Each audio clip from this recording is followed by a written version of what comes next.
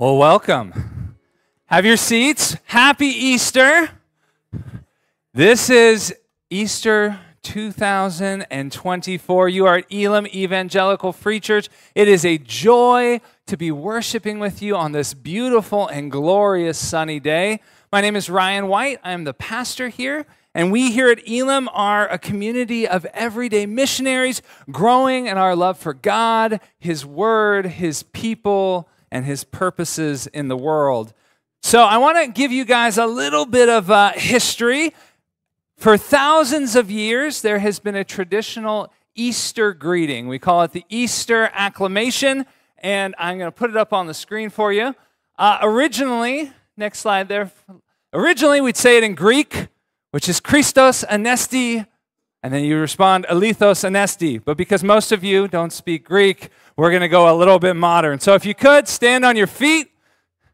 And it's a three part call and response. So I'll do the leader part.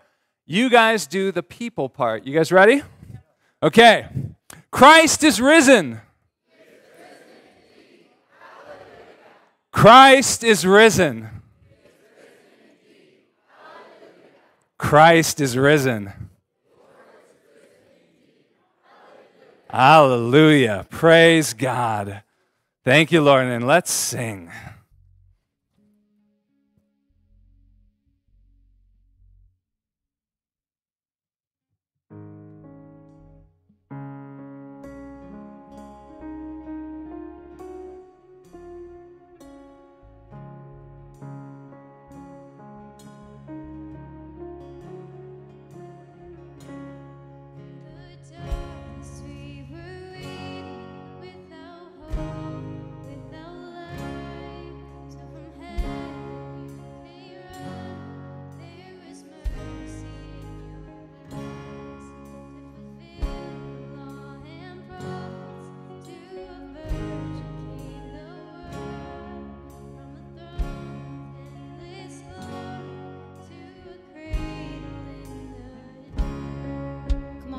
Lift your voice.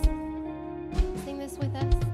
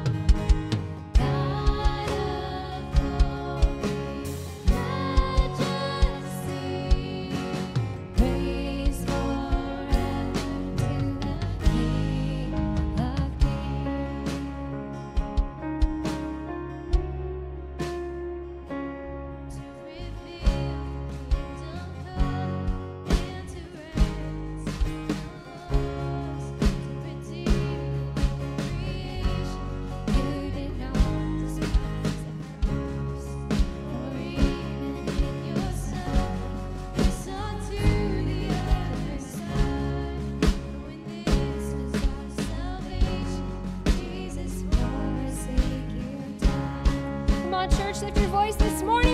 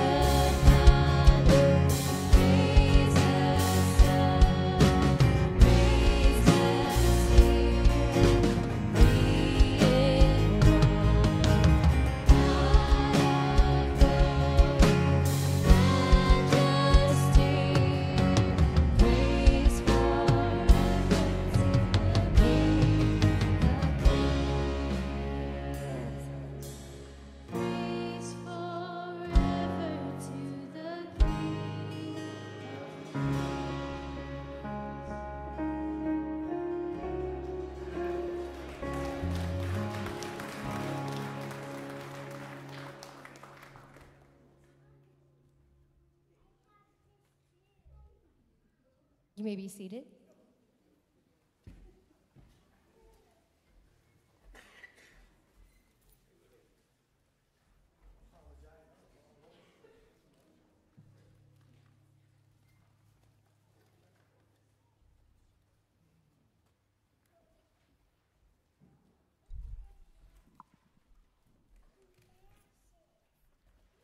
Now, after the, after the Sabbath, towards the dawn of the first day of the week, Mary Magdalene and the other Mary went to the tomb. And behold, there was a great earthquake, for an angel of the Lord descended from heaven and came and rolled back the stone and sat on it. His appearance was like lightning, and his clothing white as snow. And for fear of him, the guards trembled and became like dead men. But the angel said to the women, Do not be afraid, for I know that you seek Jesus who was crucified. He is not here, for he has risen, as he said. Come, see the place where he lay. Then go quickly and tell his disciples that he has risen from the dead, and behold, he is going before you to Galilee. There you will see him. See, I have told you. So they departed quickly from the tomb with fear and great joy and ran to tell his disciples. And behold, Jesus met them and said, Greetings. And they came up and took hold of his feet and worshiped him. Then Jesus said to them, Do not be afraid. Go and tell my brothers to go to Galilee, and there they will see me. Please stand with us in worship. All right, guys, this is how we thank the Lord this morning, right? We thank Him by singing songs of love and joy to Him. So let's sing this one in celebration.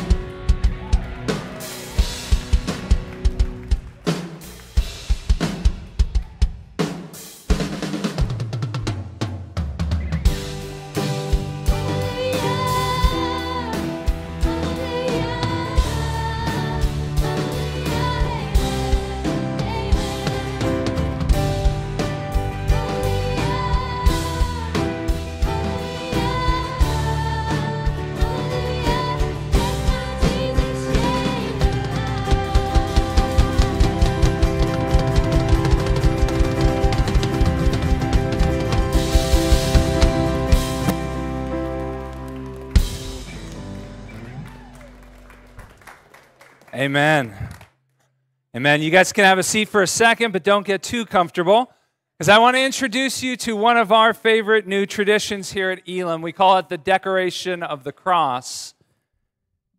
Because there's this beautiful mystery at the heart of our faith that the symbol that was originally meant to represent fear and torture and death has become for us a symbol of incredible hope and new life. And so, what we do on Easter is we bring fresh cut flowers and we adorn the cross. And what was once this image of ugly, dark death sprouts to new life. So, as we sing, I'm going to invite you guys to come up and adorn the cross. And, John, you can put up the ladders. And in fact, I'm going to invite my family up first as well. So, what we'll do is we'll go this section first, then you guys, then you, and then you. Patience. But as you come, um, if you can't mount the stairs, don't worry. Be safe. Uh, but also, uh, we have, if you're feeling daring, we've got ladders that you can traverse as well. But as we come to adorn the cross, let me pray. Dear God, Lord, this is a day that we celebrate unexpected and inexplicable new life. You are a God of victory, a God who triumphs over death. And so, as we come to adorn the cross, may we come in gratitude, acknowledging what is our living hope in you. Pray all this in Jesus' name. Amen. Well, let's come and adorn the cross.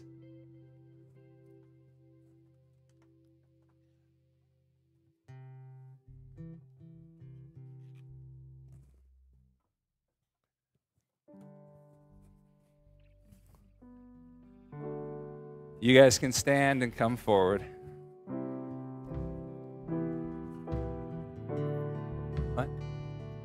Yeah, come, guys, come.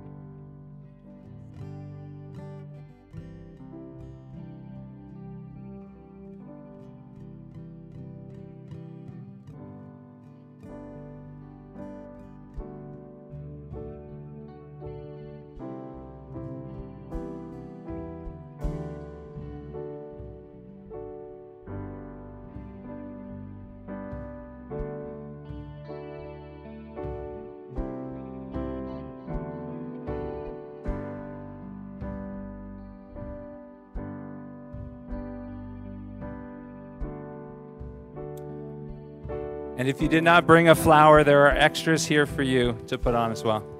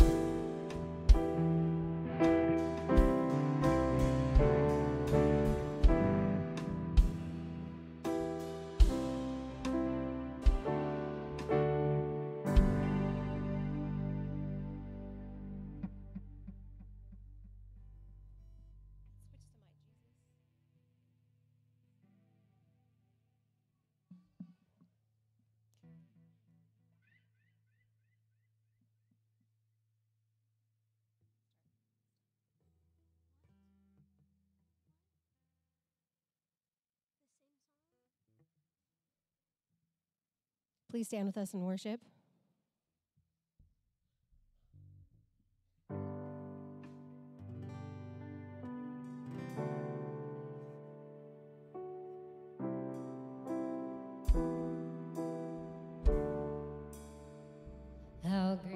The chasm that lay between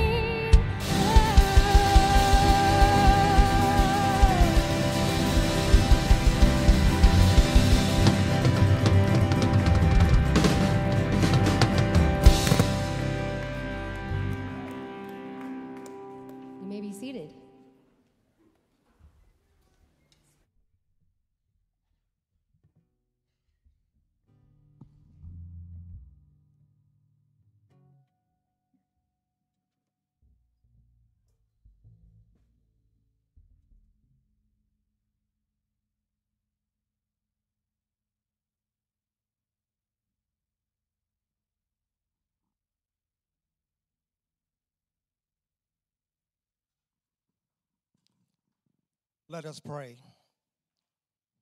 Heavenly Father, uh, we come uh, to you in humble submission to first give thanks and praise for how you have brought us this far. Father, we are so grateful that you gave Beth White back to us. Because you determined her job was not yet finished. Father, you have shown your love and mercy to us time and time again. You continue to show that your love and mercy trumps any and everything the enemy of our souls throw at us. Lord God, you demonstrated your love for us in that while we were still sinners, Christ died for us. And now, God, through your only begotten Son, Jesus Christ, who overcame death and opened the gate to everlasting life, permit that we who celebrate with overwhelming joy the day of our Lord's resurrection, may we be raised from the death of sin by the same life giving Spirit that raised Christ from the dead, and may we reign with Jesus forever and ever. Amen. Good morning once again. My name is Willie. I am one of the elders here. And at this time, uh, we will hear from Linda Busick for the kids' moment.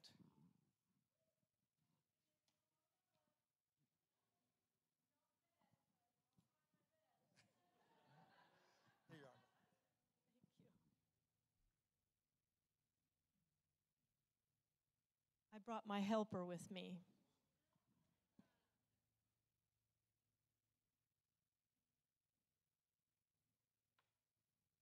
So last week in the children's ministry, we made resurrection gardens. And I said, Beth, are they going to bring them back next week so I can see them? And she said, No. So I decided to take one home, and this is what mine turned out to be very nice green grass. So I'm going to put this garden over here with the cross.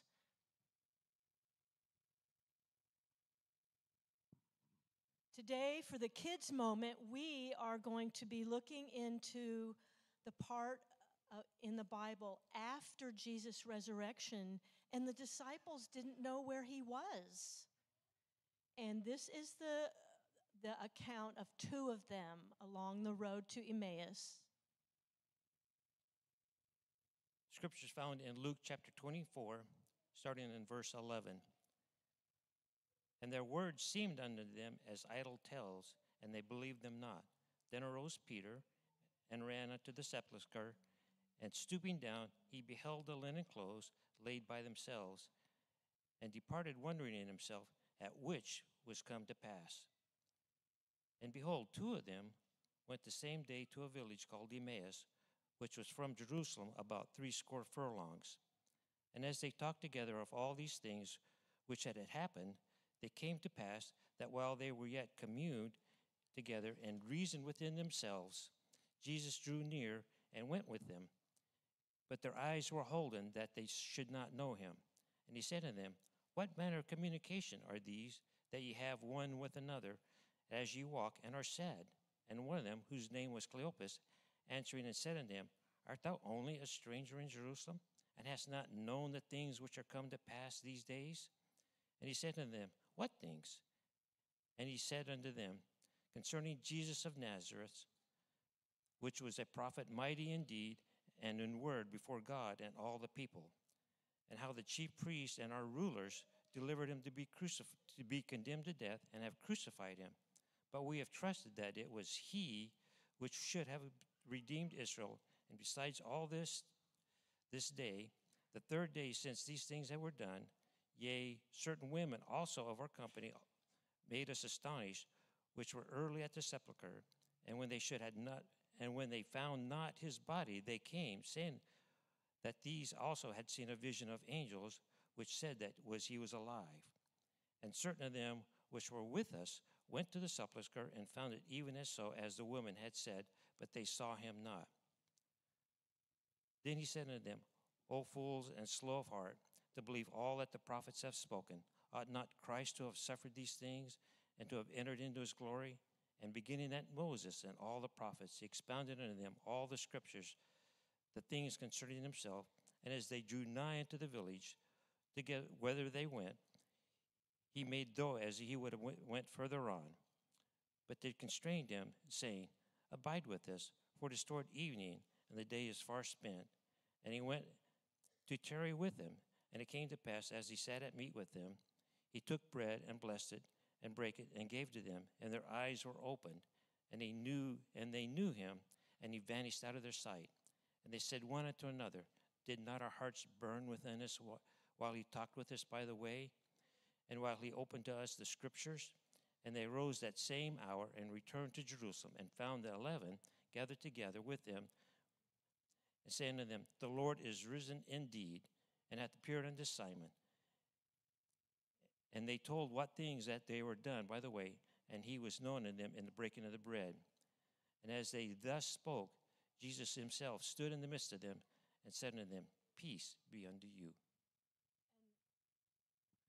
What I want all of us to know is how their eyes were opened and they knew him, and their hearts burned within them when their eyes were opened.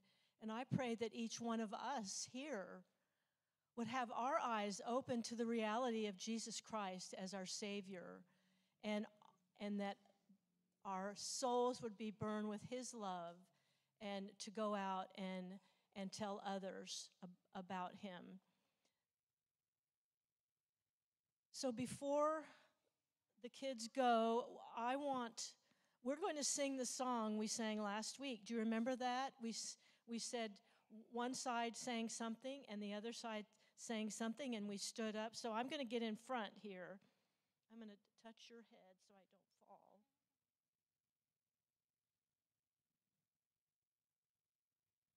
And so this side will sing Alleluia, Alleluia, and you stand up, remember? And this side will sing Praise ye the Lord.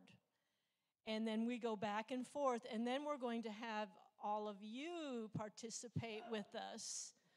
Okay? So this side, let, let's start. Are you ready? This side, you got to stand up. So we'll start here over. No, right there. Okay. Are you ready? Alleluia, alleluia, alleluia, alleluia. Stand up. Praise ye the Lord. Alleluia, alleluia, alleluia, alleluia. Praise ye the Lord. Keep standing. Praise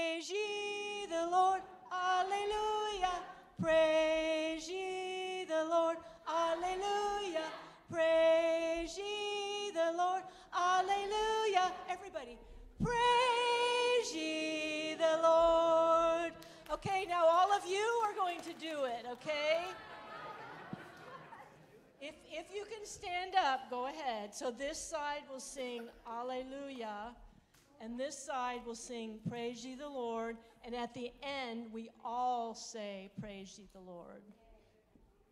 Okay, you ready? You got to sit down. Okay, ready? Remember, all of you on this side, ready? Alleluia, alleluia, alleluia, alleluia. Praise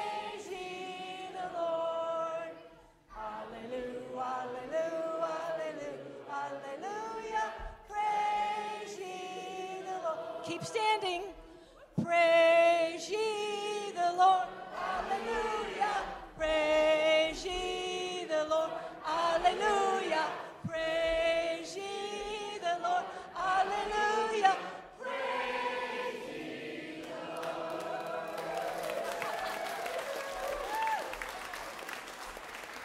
Okay, so before everybody goes, I'm going to give you one of the little eggs that I, for- that I forgot last week, and it has something for you to do this week.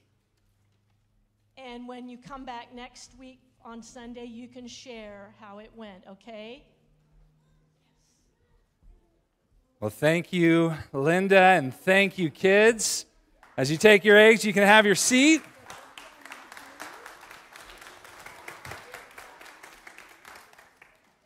The tomb is empty. Christ is risen. The Lord is risen indeed. Hallelujah. Well, it's Easter morning. And on today, we worship our Savior. And we worship him using one of his ancient titles the firstborn from the dead. Firstborn from the dead is a biblical expression. It occurs twice in the New Testament, once in Colossians, once in the book of Revelation. It is a name reserved exclusively for Jesus. And what does it mean to worship Jesus as the firstborn of the dead? Well, let's begin with that word first. If you look up first in the dictionary, it is a thing or person that ranks or comes at the beginning of a series. The first precedes all others in time or importance. When you say first, it implies the beginning of something. You only say first when you know there will be a second or a third. I think of my kids when my young eldest Eliana was little, she used to run through our house, and everywhere when she'd get somewhere, she'd shout, First! Why? Because she knew a second was coming. Her younger brother Elijah would be shortly behind her, and they were racing. First has a sense of expectation built into it, it implies a new beginning, the establishment of some new reality. As Paul says in Colossians 1:18, Jesus is the beginning, the firstborn from the dead. But Jesus is not merely the first, he is the firstborn. First to be brought forth or given birth to. And it speaks to more than just his status as the firstborn son of Mary. It even speaks to more than just his status as the only begotten Son of God. Firstborn is a concept of great importance in Jesus' world. You read the Old Testament and you discover the firstborn son held a special place of prominence and authority within the family. He would inherit his father's place as patriarch, as the head of the family, and he would ensure the family's existence into the next generation. And with that responsibility came special status he received his father's blessing and a double portion of the inheritance. And just listen how Jacob described his firstborn son, Reuben, in Genesis 49. He says, Reuben, you are my firstborn, my might, the first fruits of my strength, preeminent, that just means surpassing all others, in dignity, preeminent in power.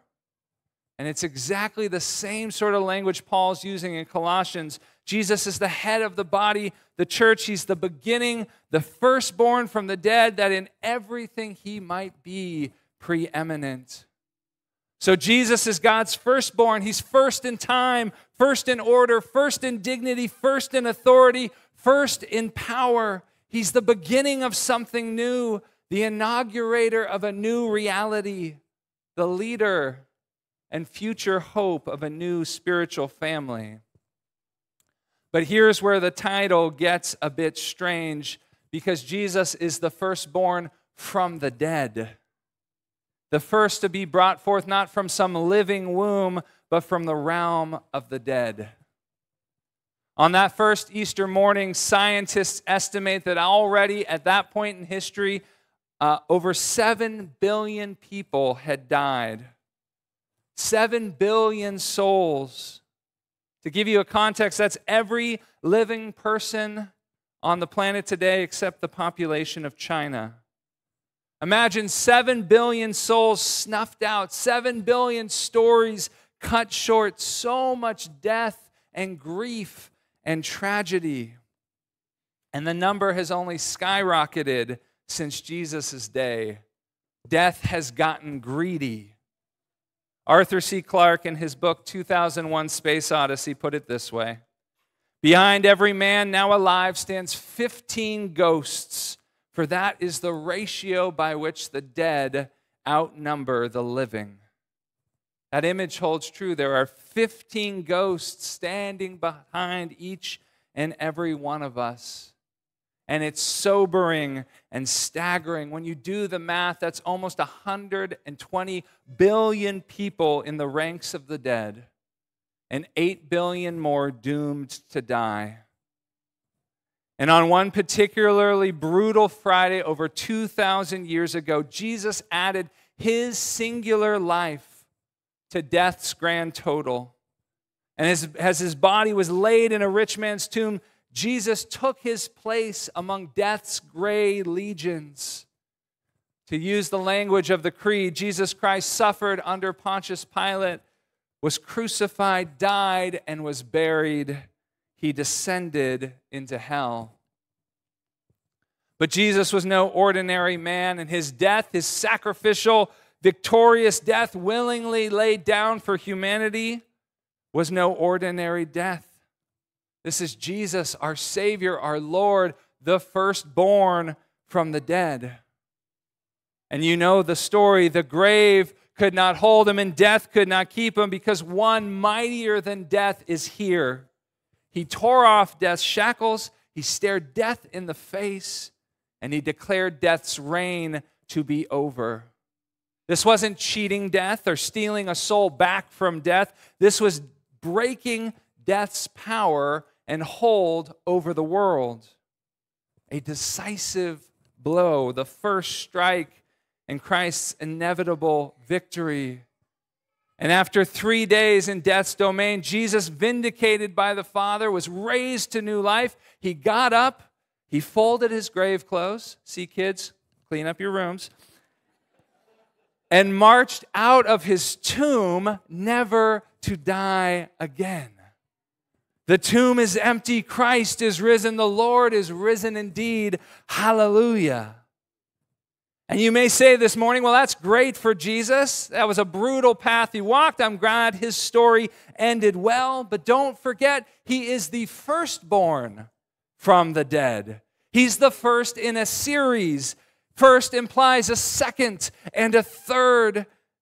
First implies a new beginning, some new reality, what Scripture calls new creation. So Jesus is the firstborn, the head of a new family, a family that he's gathered from those death previously claimed as its own. We are death's no longer. And Jesus, as the firstborn of the, from the dead, now guarantees our future in this life and the life to come.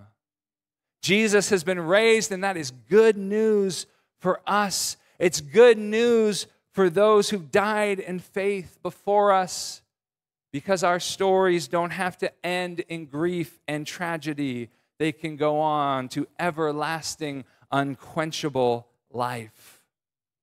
And actually, the Easter narrative illustrates this beautifully for us.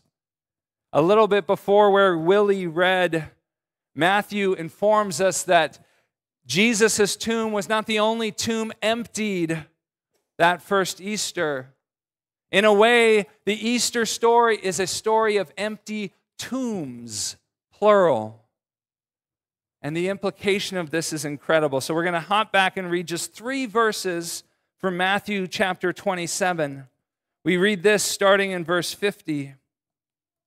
Jesus cried out again with a loud voice. He's on the cross, ready to die, and yielded up his spirit. And behold, the curtain of the temple was torn in two from top to bottom, and the earth shook, and the rocks were split, and the tombs also were opened. There's like almost this catastrophic natural phenomenon that accompanies Jesus' death. It's this symbol that this is no ordinary man and his death is no ordinary death. It is as if creation itself is shaking in mourning with his passing. So there's this big earthquake when Jesus dies, and earthquakes aren't that uncommon in Israel, but this one was huge. It damaged the temple, it split rocks, it broke open the stone graves that ring the ancient city of Jerusalem. It's some serious shaking, but things only get weirder from here. And the tombs also were opened, and many bodies of the saints who had fallen asleep were raised. And coming out of the tombs after his resurrection, they went into the holy city and appeared to many. Well, that is weird. Dead people who had been dead for a long time got up, shook off the dust, did a few kind of lung clearing coughs, and started walking around. What do we do with that? Well, this is what we call theology in narrative form. You want to know what Jesus' resurrection means for you? God says, okay, I will provide you with a case study. Consider these guys. So Matthew calls these men and women saints. They were holy people who had died. But remember, holy just means set apart. These are people who set themselves apart for God, choosing to live their life for Him and His purposes. And they died trusting God, placing their hope in Him. And when Jesus rose from the dead, it is as if resurrection life burst out of the grave with Him and it overflowed to the benefit of those who had placed their trust in God. So when He rose from the dead, they woke up too with a new lease on life. And I'm sure they were as shocked as we are that they were back. So, what do they do? They get up, they go into the city, they start talking to people. I'd imagine they're hungry, probably got a bite to eat. But it says they appeared to many. And that Greek word has a couple different nuances. It could mean they made clear to many, they explained to many, they presented evidence to many. Well, evidence of what? Explained what? What Jesus' resurrection means for those who trust him. And the Apostle Paul, he put it this way in Romans 6 4 We were buried, therefore, with him by baptism into death, in order that just as Christ was raised from the dead by the glory of the Father, we too might walk in newness of life. Paul's thinking of baptism. When a Christian stands up to declare their allegiance to Jesus, it's that tangible moment when you say to all the world, I have received the sacrifice that he has given on my behalf, and I'm choosing to trust him and love him and follow him the rest of my days. And we baptize people because it's the symbolic representation that we are sharing in Christ's death and resurrection. We're participating in his story. Jesus' story is becoming our story. When a baptized person goes under the water, they're symbolically buried, sharing in his death and his victory over sin and his triumph over evil.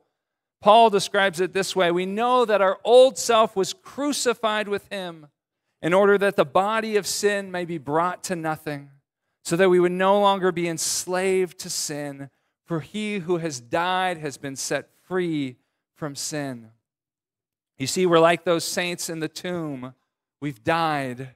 We've died to sin. We've been set free from our past. Evil no longer has a hold over our lives. But that's not all. When we come out of the water, we're raised to walk in newness of life. We're like those saints who rose from their graves that first Easter morning.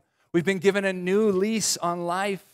We share in a strength that's not our own. In fact, we have the very resurrection life, the Holy Spirit surging through us. And that's the beauty of those this picture. Those long dead saints had placed their hope in God. They'd identified with Him. They'd chosen to follow Him. They gave Him their allegiance. And in return, in exchange, God shares His abundant unquenchable life. Romans 8:11 If the spirit of him who raised Jesus from the dead dwells in you, he who raised Christ Jesus from the dead will also give life to your mortal bodies through the spirit who dwells in you. And that's the exact same message which we see in these folks that rose from their tombs that first Easter morning. They experience in miniature what is true for all of us. But one lingering question what happened to those folks who rose with Jesus on Easter? Well, it seems like their situation was a little different from Christ's. Jesus was resurrected, never to die again. They were most likely resuscitated, brought back to life, and eventually did die again. Well, you might say, dying twice sounds like a bummer. But I imagine when they faced death a second time, they faced it without fear because death's sting had been removed. They knew Jesus, the one who triumphed over death. They knew Jesus, the one who was the resurrection and the life. So when death again came knocking, they rested in hope, knowing that his resurrection secured their resurrection. God had raised Jesus from the dead, so he would raise them from the dead, never to die again. It's the beautiful promise of Easter life and strength for today, confidence and hope for tomorrow. But it would be remiss of me if we ended this Easter message without an invitation. The beauty, power, and hope of Easter is only worthwhile if you share in it. Easter is a great story, but it means nothing if it doesn't become your story. Jesus, as the firstborn from the dead, wants to become the firstborn of many brothers and sisters. He wants the empty tomb not to just be a marker of his victory, but a marker of your victory. The guarantee that not only will you be one day raised to new life, but that even now you can experience God's abundant life. Today, Jesus wants to see us born from the dead. And all we have to do is trust Him. So, as we wind up, I'm going to invite Janelle forward. But if you confess with your mouth that Jesus is Lord and believe in your heart that God raised him from the dead, you will be saved. You may be here and you don't consider yourself a Christian, I would say that it might be time to pause and consider what you actually believe about Jesus. Jesus moved heaven and earth to assure a fresh start for you. He makes amends for your poor choices and the poor choices of others, dying on a cross for our forgiveness. And He wants to rescue you and thwart all that seeks to destroy you, both within and without. And he did it all because he loves you. He is your creator and your biggest fan, and he wants to see you walk in newness of life. He invites you to live in a close relationship with him. He's done all the heavy lifting, the dying and the rising again. He simply invites for you to trust him, to confess your need, to believe he is who he says he is, and to follow where he leads. You see, Jesus did not come to make bad men good or good men better. He came to make dead men alive. Jesus says, Truly, I say to you, an hour is coming and is now here when the dead will hear the voice of God, the voice of the Son of God, and those who hear it will live. Do you want to pass from death to life? will hear and respond to Jesus' invitation. Believe him, receive him, and let him make you new. So do your favor to yourself. Before you race off to brunch or your egg hunt or to watch the March Madness games, take some time to wrestle with all of this. Maybe put it on your calendar for this week. Get a cup of coffee and schedule an hour where you can think and process through these things. If you would like me or one of the elders or one of the staff to be there with you to chat and talk, we'd love to do that. But maybe you're past that point. Maybe you're ready to say yes, to have a break with the old and say yes to new life, to be born from the dead. I would encourage you to say yes today. What a wonderful opportunity to say yes to new life on Easter. We can baptize you as early as next week if you'd like. But if you're ready to say yes today to new life in Jesus, would you be so brave as to raise your hands and I will pray with you? I extend a, a tangible invitation because we're all on a spiritual journey. We're investigating, exploring, trying to navigate, but we hit these fork in the road moments where we have to make a concrete decision left or right. Do I take this path or not? Do I trust this way or not? Well, today may be such a moment for you, a time of choosing. So if you're choosing new life in Christ today, raise your hand and let us pray.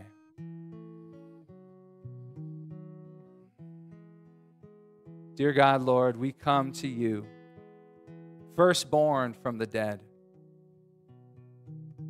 and we say yes to new life. Death has its hold on us, God. We are broken. We do what we don't want to do. Our bodies break down. But you have come that we might have life and have it abundantly. And it is freely given, so we freely receive. We trust you are who you say you are. And we look to you for hope. Forgive us Save us, make us new, we pray. Amen.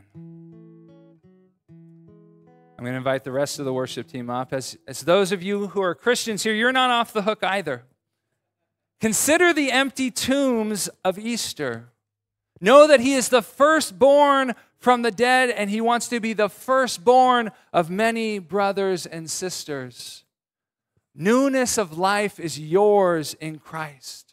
Don't act like you're stuck or powerless or without hope. The Spirit that raised Jesus from the dead lives in you. He gives strength to you in your weakness. He breathes life into what is dying. He wants you to thrive. The old has passed. Let the new be born. Jesus wants to see you victorious, buoyed and dependent on his power, living as his everyday missionaries, his hands of feet and blessing in the world. So stand to your feet. I want to give you guys this benediction this Easter. We are Easter people. We are empty tomb people. We are born from the dead people. Let's live like it and let's glory in our Savior Jesus, the firstborn from the dead. Amen? Well, let's respond to our Savior with singing because this is a glorious day.